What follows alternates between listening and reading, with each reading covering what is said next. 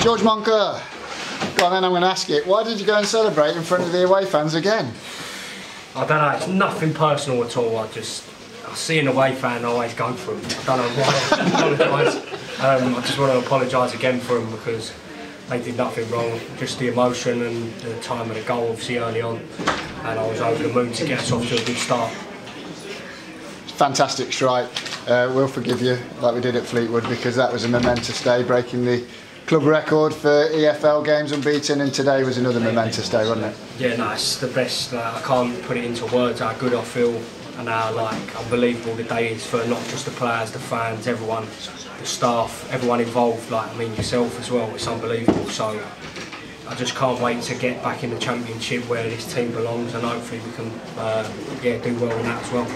I mean, listen, we, we've got loads of friends at Barnsley, all of us, we get on well with them off the pitch. There's four of you here, there's two up there of our old players, but the goals you've scored, um, I think Barnsley might be regretting let you, letting you go.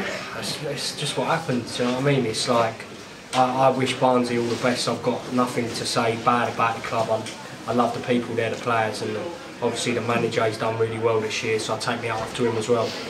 But it's just one of them things when when you let quality go, it can bite you, and you know what I mean? It can do you up. um, but yeah, nah, listen, they're up as well, and um, we're just going to look forward to next year now. For you boys here, yourself, Elliot, uh, Matty, and, and Luke Berry, that you know, I've got friends up there. It's the perfect one too, isn't it? Exactly. With, with us as number one. Definitely, like you want to be first, and that's what we've got. We're over the moon with that and it's great for them as well because they're such a good team and good lads and everyone involved with their team and their club is it's immense so I wish them all the best and I know they're going to enjoy themselves so I look forward to seeing them next year when we play against them. Just back to today's game, I mean that was a dream start, what a, a strike, another free kick but then to get a second as well, it's the second time you've scored two here isn't it?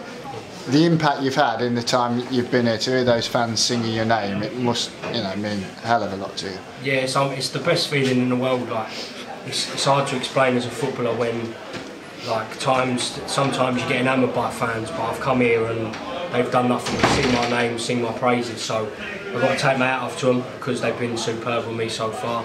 Hopefully, I can carry on doing well and they won't be on me back. Do you know what I mean? So yeah, I'm, i can only say good words about it and I'm, I'm, grateful to be at a club like this. And what a fortnight it's been as well. Birth of your, your first daughter, Sailor Rose, yeah. and um, now we're sailing back into the championship. That's it, that's it, Sailor, do you know what I mean? We sailed straight in there. So, But yeah, uh, it's been a superb sort of two, three weeks. I mean, I think she's about 15, 16 days old. But to top it off with a gold medal around my neck and have my family here, the Lord has provided again, as I'd always say. All glory to Him again because without Him, I, don't know what would happen, but I give all glory to my Father in heaven and always will. I mean, just going back to, to Sailor, she's probably the youngest fan here today, isn't she? I know, it's the youngest fan, but I was a bit scared to be fair when all the fans ran on because like she's ain't being funny, she can't do nothing. So she's yeah, she's um, probably is the youngest one here, but it's great to obviously when she gets a bit older I can tell her what happened on a day like today. And your faith, you've just touched on it there. Um, you know, you, have had some difficult times, obviously up at Barnsley being out the side. You've spent a lot of time here on the bench because the team have been doing so well, but you, you always have that belief, don't you, to keep you going? Yeah, it's the, it's the biggest thing, like I'd say all the time, best thing in my life. Blessed me with uh, first child, a beautiful wife, a wonderful uh, career in football, and a great team like this. So all glory to him.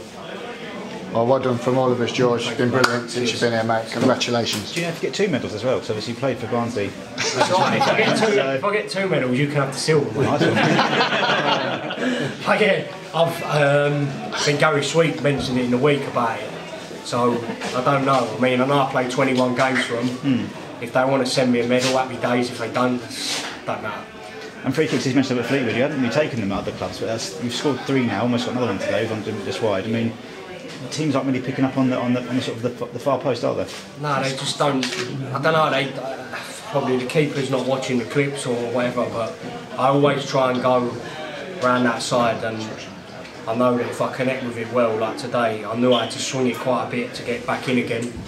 No matter what height the ball's at, if you connect well and do the curve on it, it should go in, and it did again today. Mm. How pleased with the second goal as well? Because you started that from your own box almost, I think, taking it forward Yeah. and then on the end of it. No, that's that's my game, and it like sort of I love running with the ball, love committing players. Obviously played. I think I got a bit lucky at the first instant where I played it to someone, but come back, slipped obviously Cornick in. He done really well to cut the ball back, and it fell to me, and I managed to finish it.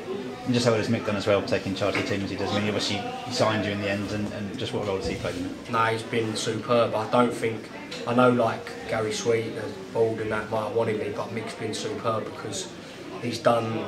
He's took over from where Nathan Jones was. You know, I, I, I had the impression that I was coming in with Nathan Jones. Obviously, it didn't didn't happen like that. But Mick knows about me. He's seen me before at Colchester, I think it is, and he's done superb. And I can only say great things about the man. There's another Jones in charge, obviously, next season now. Do you know much about the, the new manager? No, I don't. I don't really know anything. Like, no disrespect to him. I know he's been at big clubs, so he's going to be great.